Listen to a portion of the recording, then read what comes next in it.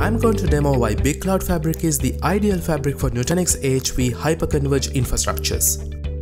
BCF is powered by an SDN controller to build a leaf spine fabric using open networking switches.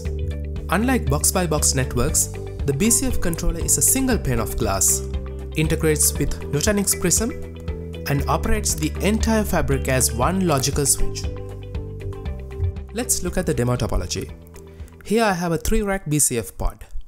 BCF can automatically bootstrap AHV hosts. We will connect 3 hosts and get an AHV cluster up and running. After that, we will configure the Prism in BCF and see AHV hosts are getting automatically discovered in the fabric. Then we will look at how layer 2 networking automation happens for couple VMs.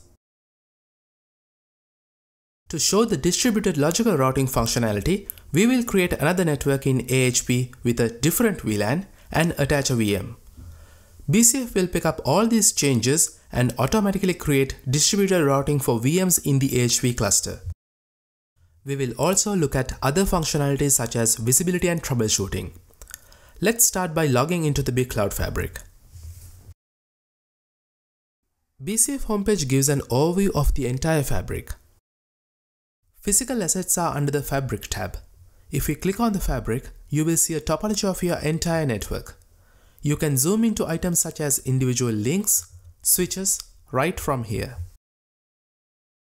If we go into the interface groups and look for Nutanix devices, you will see there are no devices detected on the fabric. Let's get the AHV nodes bootstrapped through an infrastructure tenant. I have dedicated VLAN 100 for this bootstrapping. As a result, BCF will trap all the matching nodes anywhere on the fabric to this tenant. Just connect Nutanix node to the BCF, power them on, and they will appear under here. You can either migrate an existing AHV cluster to the BCF or, like in this case, use Nutanix Foundation tool to deploy a new cluster. Once the cluster is up, we can log into the Nutanix Prism. In the home page it says I'm running an AHV cluster with 3 hosts. If I look at the VM page, I would see two VMs with the names Web1 and Web2 in subnet 103. If I open up the console of Web1 VM and try to ping the Web2 VM, the ping would not go through. To get this ping to work, let's go back to the BCF and add the Nutanix Prism under the integration. We will give basic details such as IP and login details of the Prism. We will map this AHV cluster to a single BCF tenant. As soon as we hit save, BCF will connect to the Prism. Now if we go back to the interface group screen, we will see BCF automatically discovered all the AHV hosts connected to the fabric. BCF figured out which bonding modes HV hosts are running, in this case it's LACP, and automatically created multi-chassis link aggregation in the fabric. If we go back to the Web1 VM, you will see traffic has started to flow through. So how did all this happen? Let's go inside the BCF Nutanix page to see what BCF has discovered and configured.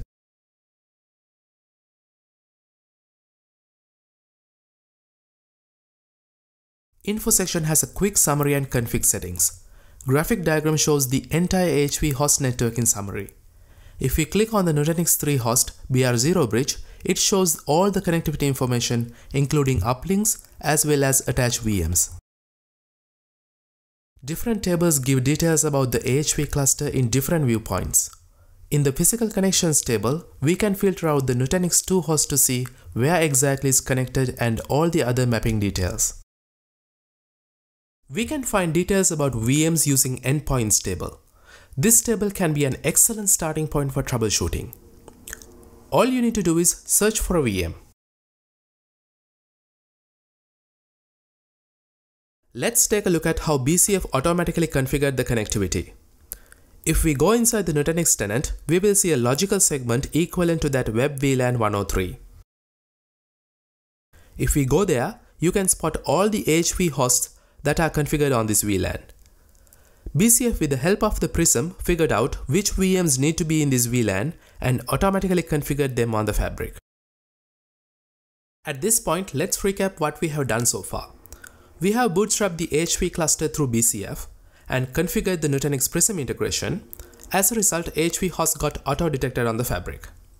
And then we have looked at how layer 2 networking got automated for these web VMs. Now imagine a scenario where you have to bring in VMs from a different VLAN.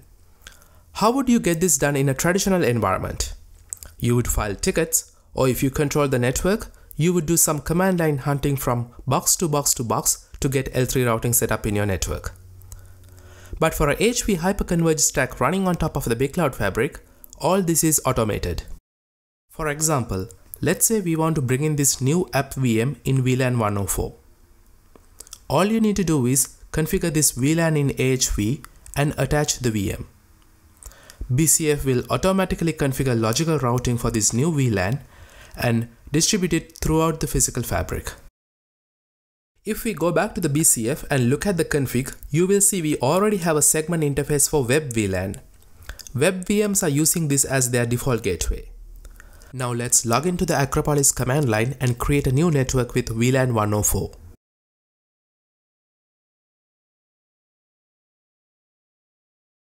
If we come back, we will see that default gateway got programmed in the big cloud fabric. Just to verify the end-to-end -end connectivity, Let's go to the Prism and create an app VM with the new network. Then we will try to ping to it from our web VM.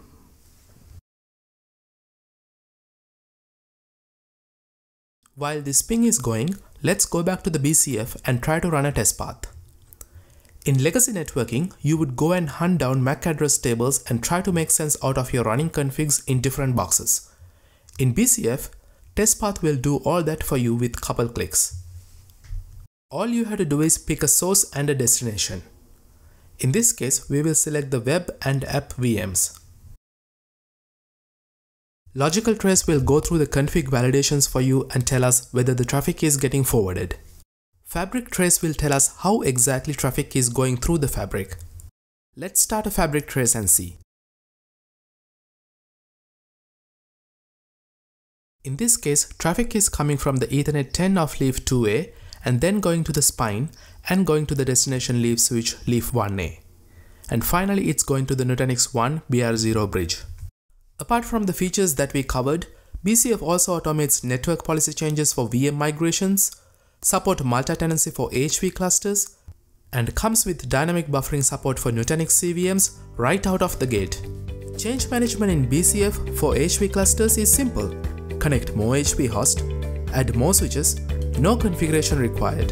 Scale your Nutanix HP clusters with BCF at will, from 1 to tens of racks.